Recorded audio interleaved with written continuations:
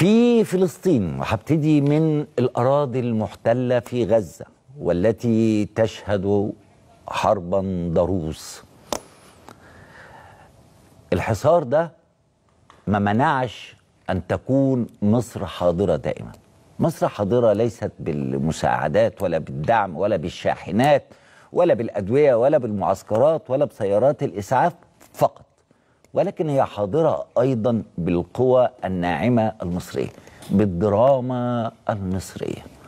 ففي ظل وفي عز العدوان الإسرائيلي وبينما نتنياهو يقول أنه حدد موعد غزو غزة إلا أن الفلسطينيين يتمسكون بالحياة ويعرفون أنهم مهما دفعوا من حيواتهم فهم قادرون ومستمرون.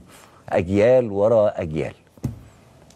الفلسطينيين قاعدين في المخيمات أو جنب بيوت مهدمة ولكن بيشاهدوا الدراما المصرية الرمضانية.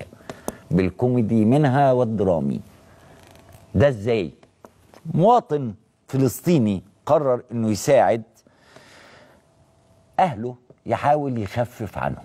فبدأ يجيب شاشة عرض ويشغلها بطريقة ما ويعرض عليهم المسلسلات ويقعدوا يتفرجوا. شايفين فكرة الحياة ستستمر. إحنا قادرين. إحنا هنعيش. وكمان ارتباطهم بالدراما المصرية. إحساس الشعب الفلسطيني الواعي الذي لم يتأثر يوما بمحاولات عديدة من أطراف مختلفة عشان يهزوا الدور المصري اللي ما حدش عمل زيه واللي مصر دايما بتعمله. أخونا وبلدياتنا وأهلنا. آه الأستاذ مجد الديراوي من غزة. مساء الخير يا أستاذ مجد. مساء الورد يا حبيبي. أهلا بيك. كل عام وأنتم بخير ويرفع عنكم الغمة ويزيل هذا العدوان الغاشم عنكم بإذن الله. باذن الله باقرب وقت إن شاء الله. كل عام وأنتم بخير وكل الشعب الفلسطيني وحضرتك بخير وصحة وعافية. قول لي انت إيه اللي خلاك تفكر في فكرة عرض دراما على اخواتنا واهالينا وهم في هذه الظروف الصعبة؟ إيه حبيبي إحنا هون في غزة زي ما انت عارف مش بسبب الحرب إحنا حتى من قبل الحرب بنحب نعم. نتابع المسلسلات المصرية. نعم. تمام؟ وخاصة الكوميدي منها. تمام؟ يعني إحنا في في الوقت الطبيعي في رمضان ما بنحضرش المسلسلات في رمضان. يعني بالعادة بنخلي انه إحنا نحضر المسلسلات بعد ما ينتهي شهر رمضان. نعم. لأنه إحنا شهر رمضان عندنا يعني في شغل دائما والعبادة والصلاة والكلام هذا. يعني ما فيش وقت والكهرباء كمان بتقطع عنا كثير يعني إحنا بنشوف الوضع الطبيعي الكهرباء كنا 12 ساعة في اليوم. أيوه. تمام؟ ف في, في لما إجت الحرب ما فيش كهرباء من ست شهور. يعني تتخيل ست شهور ما فيش كهرباء بتاتا.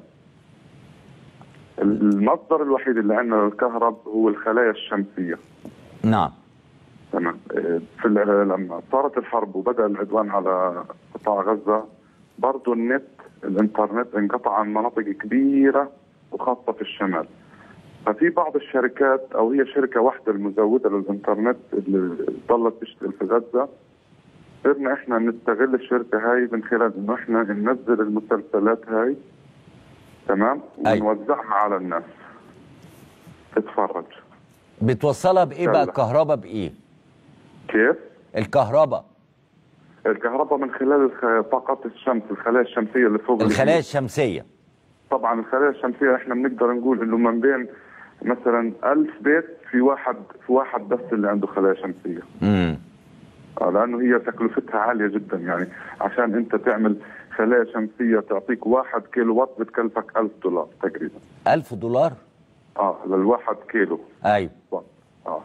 فمش كل الناس بتقدر تعملها يعني حتى قبل أنت عارف انه الوضع الاقتصادي في غزة بس أنت عملتها. صحيح. أنا كانت أنا كانت عندي موجودة من أول. أيوه. فهمت انت كيف؟ كيك عند تفضل الأعداد اللي كانت بتحضر معاك قد إيه؟ اللي بتقعد تتفرج وتحاول تخرج من الإحساس المؤلم اللي هم عايشين فيه طول الوقت. الوقت إحنا بسبب الوضع ال ال ال السياسي والعسكري ما فيش تجمعات. آه. ما فيش تجمعات انه إحنا مثلا نقعد على قهوة نتفرج أو نقعد عند أصحابنا. إحنا هان بعد أذان المغرب ما فيش بني آدمين في الشوارع. امم كيف بيجوا خلال فترة العصر بيقول لك مثلا أنا عايز مسلسل كبير قوي مثلا في 10 رمضان عايز العشر حلقات. آه. بيجي بياخذهم على الشيرمي على طريق الجوال تمام؟ وبيدفع حاجة رمزية وبيحضر هو وزوجته وبيحضر هو واولاده في البيت في مم. بيته كل واحد بشكل خاص. أيوه أما تجمعات كبيرة ما بنقدر بنخاف. أمال أنت كنت- بتعرض فين؟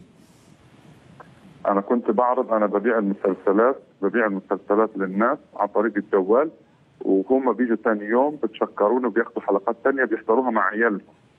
يعني أنت بتوفر لهم. النت وبتوفر لهم ال- الكهرباء بحيث يقدروا يتفرجوا. بالضبط. مش الكهرباء. أنا بقى اشحن لهم جوالاتهم. الجوال بشحنه عن طريق الطاقة الشمسية وبعطيه المسلسل عن طريق الفلاش وهو بيحضر في بيته. ما عندوش كهرباء. مش كل الناس عندها كهرباء. طبعا. فاهمني انت كيف؟ وبس مجرد بيشتري مني ال- المسلسل وبنفس الوقت بيشحن جواله. فكرة عظيمة والله برافو عليك يعني. إيه المسلسلات اللي كنت بيحبوا انك يتفرجوا عليها؟ والله بصراحة يمكن يكون الأمر يعني صادم بس إحنا الطلب كله على المسلسلات الكوميديا. الكوميدي. ما اتفرجتوش على مليحة؟ مليحة أنا سمعت فيه تمام بس الطلب يعني مش عايز أقول لك إنه ضعيف عليه ال الناس هنا محتاجة تخرج من الجو. أيوه. مش عايز تعيشهم في نفس الأجواء تاني. آه بالضبط. أنا مش حاجة أقول لواحد اتفرج على مسلسل كله خبط وروحة وجاية وقصص ومغامرات و...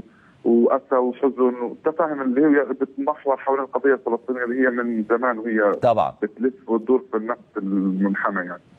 فهو أساسا عارف القضية وهو حافظ القضية. إحنا عايزين الناس كلها برا غزة تتفرج على الم- على المليحة مش إحنا. نعم. إحنا عارفين القضية وفاهمينها من زمان. صح. أخي العزيز أنا- مجد الدراوي أنا أحييك ويعني الشعب المصري يحييك ونتمنى لكم السلامة وأن تعود غزة العروس الجميلة بأهلها خالصة إن شاء الله. بشكرك جدا. طيب الناس دي عندها قدرة غريبة على التعايش مع الحياة. عشان كده ما بنستغربش لما بنشوفهم بيواجهوا الموت بصدور رحبة وبيفقدوا من أهاليهم الكتير لكن بيكملوا لأن عندهم هدف أسمى وهو حماية الأرض.